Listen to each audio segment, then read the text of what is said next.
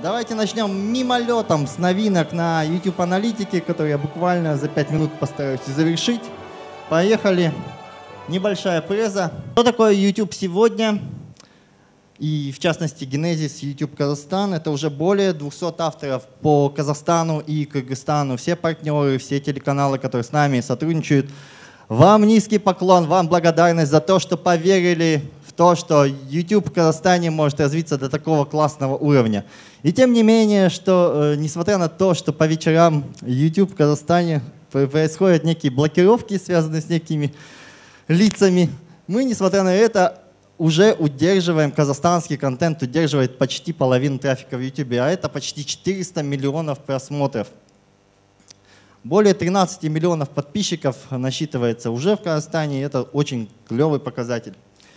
35% интернет-пользователей заходят в YouTube уже ежедневно, и в целом совокупная аудитория уже достигает больше 10 миллионов человек в месяц. Тренды все те же, и как раз э, тот тренд, который я давно продвигал на всех семинарах, лекциях по кулинарии, он наконец-то появился в Экибастузе, в моем родном городе. Как э, э, в Экибастузе родился канал, который уже набрал больше 100 тысяч человек. Асель Алиаскаровна зовут блогера, который единственный в Казахстане на казахском сделал канал популярный по кулинарике. Давайте, она нас смотрит обязательно. Давайте поаплодируем, Асель. Айдар Муратов поприветствует блогеров, задержавшихся где-то на ивентах. Тренды остаются те же. Э, это музыка, это развлечение, это видео do it yourself. Do it yourself единственный блогер до сих пор остается. Это Айсулу Нуртаева, которая в Астане делает прикольные видео. Профиль пользователей, в отличие от России, в Казахстане несколько иной. Это аудитория более взрослая. Если YouTube-блогеры России вынуждены так сказать, идти на поводу, на поводу аудитории вслед за тинейджером, то аудитория YouTube Казахстан более взрослая. Это костяк 25-34.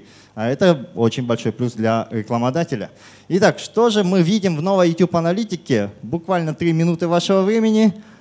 Это первое и основное, это уникальные зрители. Наконец-то мы знаем охват по людям – те люди, которые посещают ваш YouTube-канал. То есть благодаря уникальным зрителям мы знаем, сколько на канале в день и в месяц уникальных людей. Раньше мы видели только просмотры. Теперь мы знаем, что, например, вот телеканал канал Саспенса на YouTube нашего первого блогера-миллионника посещает в месяц 10,3 миллиона человек. Не забываем, что у него аудитория в основном из России. Сколько роликов смотрят зрители вашего канала? Это второй показатель YouTube-аналитики.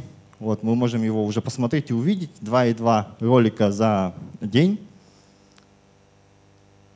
И когда прайм-тайм на моем канале, теперь мы можем это четко понимать, когда был прирост аудитории, когда она снизилась и так далее. В аналитике э, в режиме онлайн мы можем посмотреть, что зрители моего канала, например, смотрели нас там с 7 до 9 вечера, и, это и есть тот самый прайм-тайм.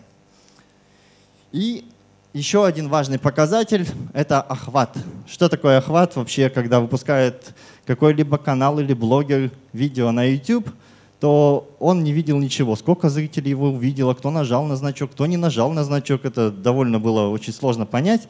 Теперь есть этот показатель, он называется «показы». Это показы именно ваших картинок, которые вы выгружаете на YouTube, и вы точно знаете, скольким людям он был показан. Вот примерно так. Скажем спасибо YouTube за столь полезные вещи.